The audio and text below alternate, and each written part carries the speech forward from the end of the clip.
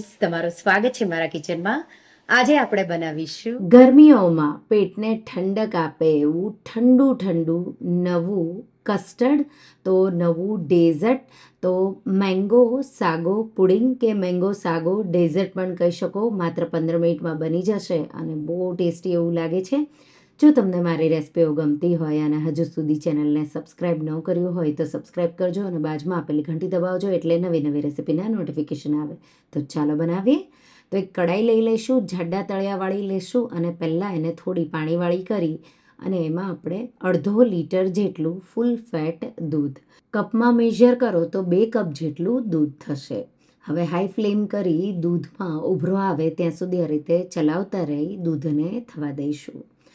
સાઈડમાં આ રીતે મેં એક વાટકીમાં ત્રણ table spoon vanilla custard powder લીધો છે અને એમાં આપણે એક ચોથાઈ કપ જેટલું ઠંડુ દૂધ ઉમેરી અને બિલકુલ ગાંઠા ન રહે એ રીતે તમારે મિશ્રણને મિક્સ કરી દેવાનું છે. તો આ રીતે બિલકુલ ગાંઠા ન રહ્યા એ રીતે મેં મિશ્રણને મિક્સ કરી દીધું. હવે દૂધ આપણું ઉકળવા લાગ્યું છે. હવે આપણે એમાં ગળપણ સાથે સાથે જ ઉમેરી દઈશું.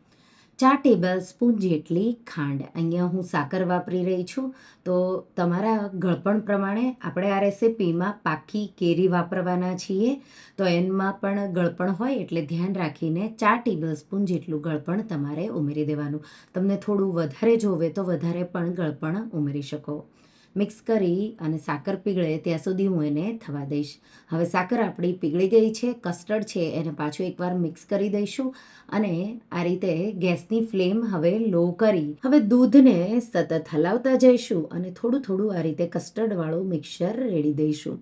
સતત હલાવવું જરૂરી છે, નહીં તો આ રીતે ગાંઠા પડવા લાગે છે, એટલે તમારે એ ધ્યાન રાખવાનું. તો આ રીતે તમે જોઈ શકો છો, બિલકુલ ગાંઠા ન પડ્યા.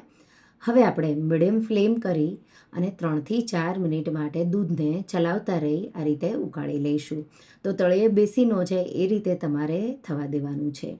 દૂધ હવે તમે જોઈ શકો છો, જાડું કસ્ટર્ડ આપણું રેડી થઈ ગયું. ડાયરેક્ટ હું કડાઈને જ ઠંડા પાણીમાં મૂકી દઈશ એટલે કસ્ટર્ડ આપણું જલ્દીથી ઠંડુ થઈ જાય. તો ગેસની આંચ બંધ મેં કરી દીધી અને કડાઈને બરફવાળા પાણીમાં મૂકી દીધી. હવે એક પેનમાં મેં બે કપ જેટલું પાણી ગરમ કરવા મૂક્યું છે અને અહીંયા બે ટાઈપના સાબુદાણા આવે છે. નાના અને મોટા. આ રેસિપીમાં હું ઝીણા વાપરી રહી છું. તમારા પાસે જો મોટા હોય તો તમારે થોડા એને પલાળીને વાપરવાના. હું ઇન્સ્ટન્ટ બનાવી રહી છું એટલે મેં નાના સાબુદાણા. અહીંયા એક ચોથાઈ કપ જેટલા મેં લીધા છે અને આપણે એને ગરમ પાણીમાં. તો જ્યારે કસ્ટર્ડ સાઈડમાં થતું હતું ત્યારે મેં ગરમ પાણીમાં આ રીતે નાના સાબુદાણા ઉમેરી દીધા. અને આપણે એને દસથી બાર મિનિટ માટે થવા દઈશું. તો એક સાઈડ કસ્ટર્ડ રેડી થશે, એક સાઈડ તમારા સાબુદાણા ટ્રાન્સપરન્ટ થશે. લગભગ દસથી બાર મિનિટ જેવું થશે એટલે સાબુદાણા આ રીતે ટ્રાન્સપરન્ટ થઈ જશે અને સોફ્ટ પણ થઈ જશે. આપણે એને એક બાઉલમાં ચારણી મૂકી કાઢી લઈશું અને ઠંડા ઠંડા પાણીથી બેથી ત્રણ વાર ધોઈ લઈશું. સાબુદાણા છે એકદમ ચીકણા હોય એટલે તમારે એને બે, ત્રણ વાર ધોવાના. જ્યારે તમે પાછો એને યુઝ કરો ત્યારે પણ તમે પાછા એને ઠંડા પાણીથી ધોઈ શકો છો. જો ચીપકી ગયા હોય તો. તો આ રીતે મેં સાબુદાણાને બે પાણીથી ધોઈ અને એકદમ સરખા એવા રેડી કરી લીધા. સાબુદાણાને નીતરવા માટે સાઈડમાં મૂકી દઈશું. હવે આપણે કેરી સાથે સાથે કટ કરી લઈશું. કેસર કેરી કે આલ્ફાન્સો જે પણ તમને મળે એ તમારે બે કેરી લેવાની છે. જો તમને કેરીનું વધારે જોવે તો ત્રણ કેરી પણ લઈ શકો. તો આ રીતે કેરીની છાલ ઉતારી અને આ રીતે હું ટુકડા કરી તો આપણે દોઢ કેરીની પ્યોરી કરી લઈશું અને બીજી જે થોડી બચે અડધી જેટલી એના આપણે ઝીણા ઝીણા આ રીતે ટુકડા તો જ્યારે તમે ખાઓ આ કસ્ટર્ડ ત્યારે મેંગોના બાઇટ આવે એટલા માટે થોડા ટુકડા પણ કરી લઈશું. અહીંયા મેં સવા કપ જેટલી કેરીના ટુકડા આ રીતે મિક્સર જારમાં ઉમેરી અને આપણે એની પ્યુરી બનાવી લીધી. પ્યુરીને આપણે સાઈડમાં મૂકીશું. હવે એક વાટકીમાં એક ટેબલ સ્પૂન મેં તકમરિયા, તો બેઝિલ સીડ્સ કહેવાય, એ લીધા છે અને એમાં આપણે અડધો કપ જેટલું પાણી ઉમેરીશું. એક જ મિનિટમાં એ ફૂલી જશે અને આ રીતે તરત જ પલળી અને ડબલ સાઇઝમાં થઈ જશે. પાણી છે એ બધું જ ડ્રાય થઈ જશે. તકમરિયાને પલળતા બિલકુલ વાર નથી લાગતી. એકથી બે મિનિટ મેક્સિમમ એનાથી વધારે વાર નહીં લાગે. તકમરિયા પલળીને રેડી થઈ ગયા. હવે જે કસ્ટર્ડ છે, એને મેં એકદમ ઠંડુ કરી લીધું છે. તો બરફવાળા પાણીમાં મેં એને પાંચેક મિનિટ જેવું રાખ્યું અને પછી બીજી પાંચ મિનિટ જેવું મેં એને ડીપ ફ્રીઝમાં મૂકી દીધું હતું. હવે આપણે એમાં મેંગોની પ્યોરી તો જે કેરીની, પાકી કેરીની પ્યોરી કરી, એ ઉમેરી દઈશું. અડધી કેરીના ટુકડા, વધારે ઉમેરવા હોય તો વધારે પણ ઉમેરી શકો. સાથે સાબુદાણા તો આ રીતે અત્યારે સાબુદાણા છે એ થોડા આ રીતે તમને લાગે સ્ટીકી છે, પણ જેવા કસ્ટર્ડમાં જશે એટલે એ પણ છૂટા છૂટા થઈ જશે. તો દસથી અગિયાર મિનિટ જેવા કૂક કરેલા સાબુદાણા ઉમેરી દઈશું અને સાથે આપણે તકમરિયા ઉમેરી દઈશું. તો તકમરિયા તમારા પર છે, તમને જેટલા ભાવે એ રીતે તમે ઉમેરી શકો. અહીંયા મેં બે ટેબલ સ્પૂન જેટલા પલાળેલા તકમરિયા ઉમેરી દીધા.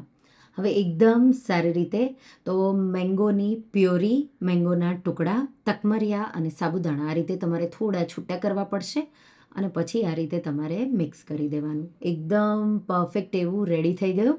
ટેસ્ટ કરી લેવાનું જો ગળપણ ઓછું લાગે તો તમે પાવડર શુગર અહીંયા ઉમેરી શકો. અહીંયા મેં કેરી પણ એકદમ ઠંડી ઠંડી ફ્રીઝમાં મૂકીને લીધી હતી.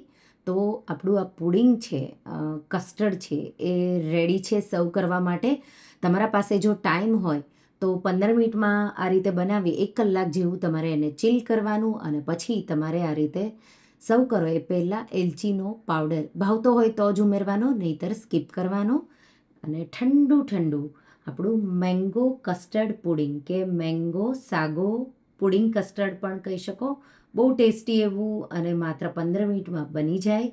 બાળકોથી લઈ મોટા બધાને બહુ જ ભાવશે અને આ ગરમીઓમાં પેટને ઠંડક આપે એવું. જો ક્યારેય તમે આવું મેંગો કસ્ટર્ડ પુડિંગ ક્યારેય ટ્રાય ન કર્યું હોય તો એકવાર ટ્રાય કરજો.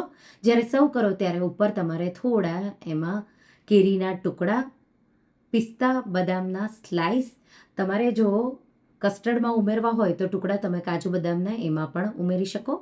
ઠંડુ ઠંડુ એને સર્વ કરો તો રેસીપી એકવાર ટ્રાય કરજો અને મને કહેજો કે તમને આ મેંગો પુડિંગ કેવું લાગ્યું. તમને આ રેસીપી કેવી લાગી મને કમેન્ટમાં જરૂરથી જણાવજો અને જો રેસીપી ગમી હોય તો વિડીયોને લાઇક કરજો શેર કરજો અને મારા ચેનલને સબસ્ક્રાઇબ કરજો અને આવી જે નવી રેસીપીઓ માટે તમે બેલાઇકન બટનને પ્રેસ કરજો. Thank you for watching